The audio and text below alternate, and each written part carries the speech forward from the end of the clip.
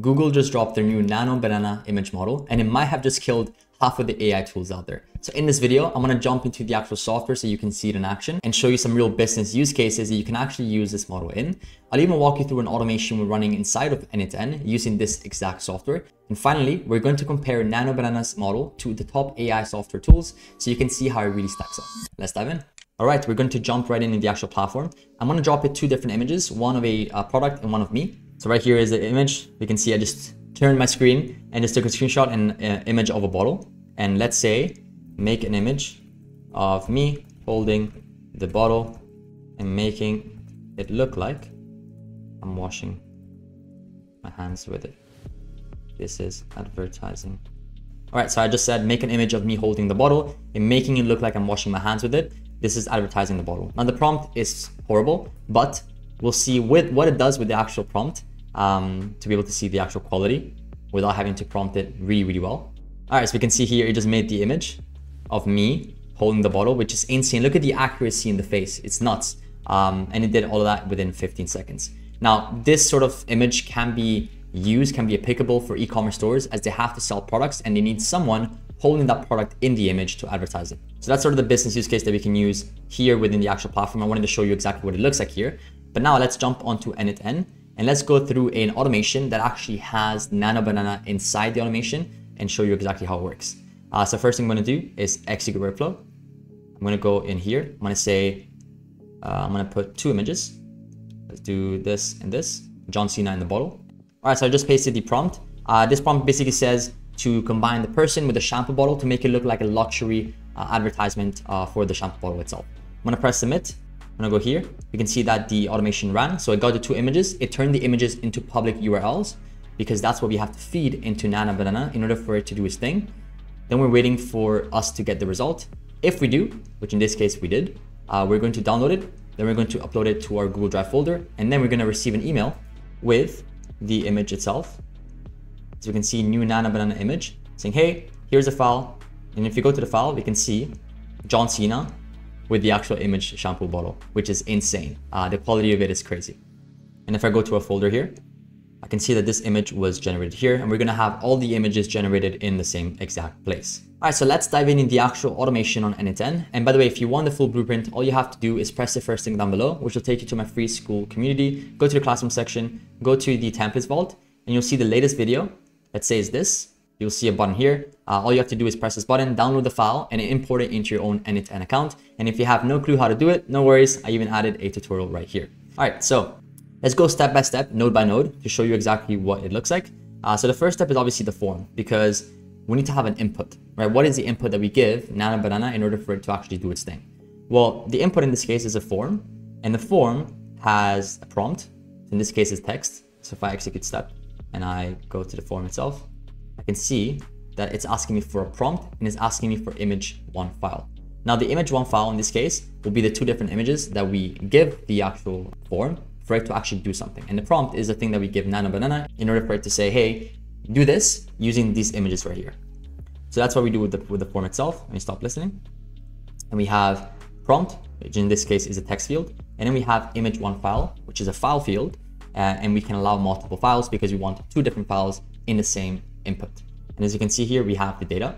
Then the next step is actually making the image uh, public because Nano Banana doesn't take images that are not publicly accessible to the web. Because the images that come through the form, they're not accessible to everyone. So what we do is we use a software called ImageKit, which is the one here, imagekit.io. I looked at the API documentation and we basically make a request.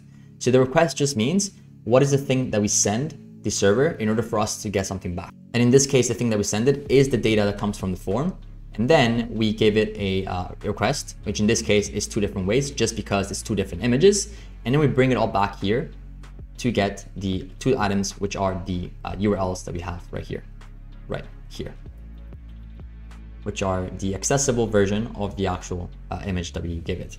So again, we get the form, we put the two different files, then we send the data to the actual uh, software itself. And by the way, if you download the template, you'll have the request right here that you can just plug and play. And all you have to change is the API key, which you can get on developer uh, options. And it's this one right here, private key. So press this button, you can copy it, and then you have to replace it right here. Place it right here with yours, and everything else will be the same.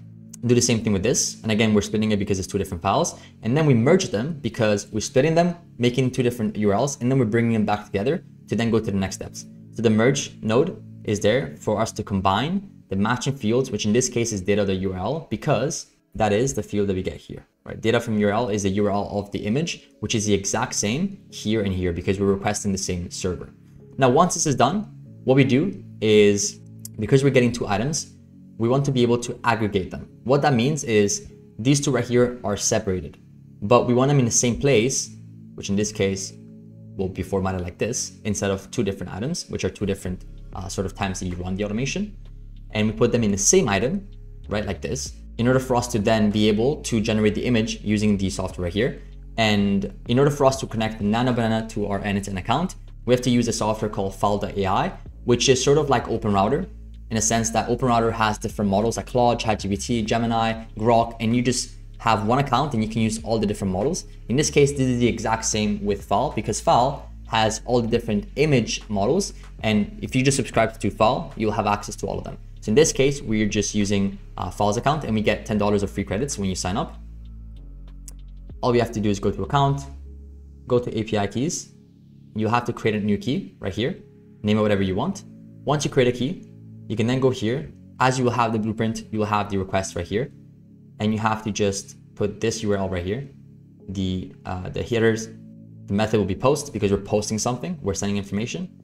Then we are adding headers as a way to authorize the request because the server needs to know exactly that it is our account and it's our key and we're spending our money and we give it the actual key that we have. And then for the JSON itself, this is the JSON, which means this is a thing that we send the actual server for us to get something back. So if I go here I can see that the prompt, so this is the JSON sort of body that we give it uh, from the API documentation.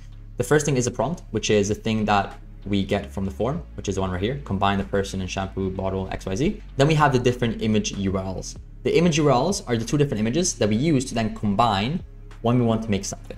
And in this case, it would be URL 0, and then it'll be URL 1. And these are the different images that we then combine to make the final image that we saw before. Once you have this connected, you will see that the output is this. Now, the way that Nano Banana works and Fal.ai works is that we don't actually get the image, um, the final image. What we get is a status, which is in queue, and we get a response URL. Now, what this means is that we basically send the request to the server because it is, again, a post request, which means that we're sending information from one place to another. And in this case, we're sending information like, hey, here are the two different images. Here's a prompt. Go out and make the actual um, the actual image and what it gives us back is saying, hey, yeah, it was successful, it's in progress. And so what we have to do then is add a wait node to wait at least 10 seconds in this case, um, yeah, 10 seconds, before we try to get the image back. So in this case, we're calling this URL with a get request because we're getting the information. So again, we sent the information like, hey, make the image. Now we're saying, hey, can I get the image back? Or can I get the image, the final image that we want? With no body, we're just putting the ID right here, which is the ID of the Nano Banana right here, which is the request ID. And as you can see here, the output is this image right here. God damn, this looks crazy. It looks insane. Um, all right. And again, the only fields you have to put is this URL right here and replace it with the request ID, which you get from here, request ID. Plus, you have to change the key that we have here. In this case, this is mine, but you'll have yours uh, in the header section.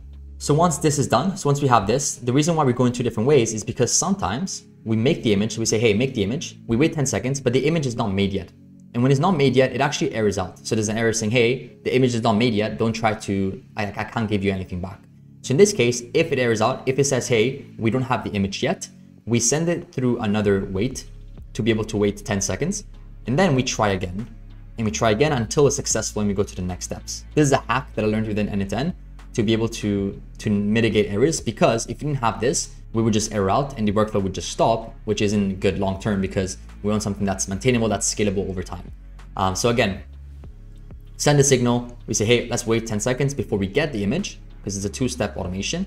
And then we said, okay, if the automation is not there yet, if we didn't get it yet, the server says no, we don't have it yet, then we just send it one way to be able to wait another 10 seconds to then try again, try again, if it errors out again, when it's successful, when we get the actual image URL, then we go this way, which is downloading the actual image URL from the public URL that we just made using ImageKit. And to do this, we're just using a simple HTTP request which is a GET request. And again, if all these requests make no sense to you, don't worry, it's actually much more simple than it sounds. It's just GET and POST. But in this case, what we're doing is that we're calling a server. By the way, HTTP stands for Hypertext Transfer Protocol. Makes no sense with that name, but what it means is that we're calling an external server on the web and saying, hey, can we get something or can we send you something? In this case, we're getting the URL and we're downloading it. As you can see, we have the data, which in this case is in a format called a binary format, which we need in order for us to then upload it to Google Drive. Now, the reason why I added this right here is because sometimes it trips out and actually gives me two items. It gives me two images when we don't want. So all I have to do is just put a limit node and add one max items, which means that it only sends one at a time or one in general. And then we upload it to Google Drive using an upload file. And by the way, if you want to connect your Google Drive to n8n, make sure to check out this video up here. Um, and then we put file, which is the actual thing that we're doing. The action that we're taking is uploading it. The input data, which is this right here, will be data because we're matching it, data, data.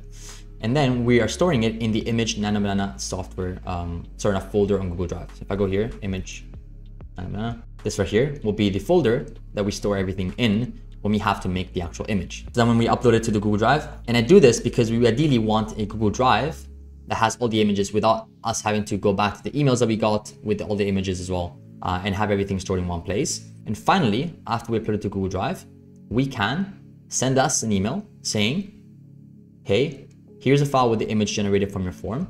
Here's the actual link to the image. And here's the folder, which is the one right here, with the images as well.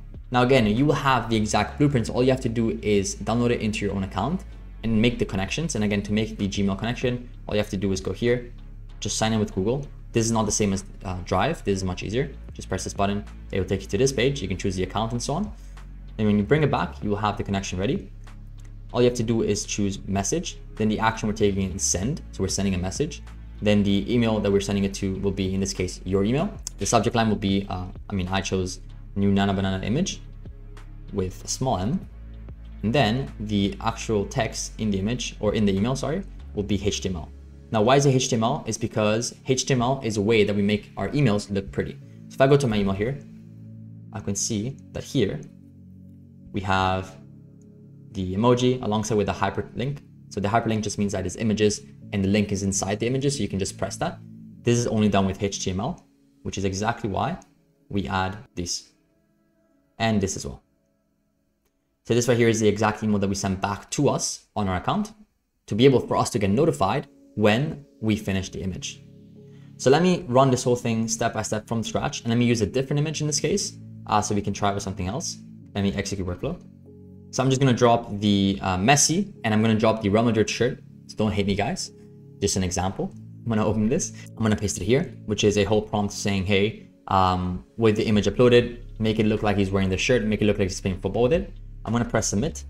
And I can then see that the image was turned public in the first uh, step right here. So we can see that this image right here is this, the Real Madrid shirt. And then the second image is this right here. Then we merge them. So we get the two different URLs and put two items instead of two separate uh, steps. Then what we do is we aggregate them. So we'll have two different images, again, in the same sort of, we call it an array. And then we call Nano Banana saying, hey, here's the images, right? Here's the two different images, right? So here's the two different images right here. And then we get a response saying that it's in queue, which is great. Then what we do is we wait 10 seconds. We try to get the image. In this case, it's actually failed the first time. So failed, that's why it went here to wait 10 seconds. Then you went back here and then only do we get the image. We download it and then we send one at a time. We then upload it to our Google Drive and then we send ourselves an email with the actual image itself. So if I go here, I can see that I got a new email with the image itself, with Messi with the Real Madrid shirt, which is illegal. Uh, but now you can see that it's so realistic. It looks like an actual image and it was stored in our Google Drive folder as well. We have this right here and we have this. So you can just imagine all the use cases you can think of when it comes to these imaging techniques of combining two different images for whatever it is. E-commerce, advertisements, uh, general images, uh, social media posts, anything that you can think of combining two images, this is great. So that right there is a full workflow in n8n using the actual Nano Banana image software. And now let's look at how the model itself compares with the other models. So in this case, on a speed level, it is the fastest, right? It's definitely the fastest out of all of them. And you can see it only took 10, 15 seconds. Midjourney takes quite a bit of time. DALL-E 3 is medium. and stable diffusion is very, very slow. I think GPT image one is even slower. Um, now, in terms of cost, Nano Banana is definitely the cheapest right here with four cents per image, which is insane. Uh, Midjourney is $4. And then we have $1, $1 as well. The resolution is the highest. And then we have the prompt fidelity, which just means how close does the image software follow the prompt. In this case, Nano Banana is very, very high. And then we have Midjourney medium, DALL-E 3 is medium, and then Stable Diffusion is variable as well. As you can see, by this, we made the image with the software itself. All right, so that there marks the end of the video. I showed you exactly what it looks like on the actual platform itself how it can be applied to automations within n8n, and also how it can compare to other image models as well. And if you ask me what I think of it, I think this is insane. I think it really does change the landscape of the creative industry because now they're able to make so many more images and so many more creatives that are actually quality just by a single prompt. And if you like this video and you want to dive deeper into n8n, then make sure to check out this video on the screen where I show you how I built a full customer support AI agent for an e-commerce store that automated 90% of their support emails. With that being said, I hope you found value from this video and I'll see you in the next one.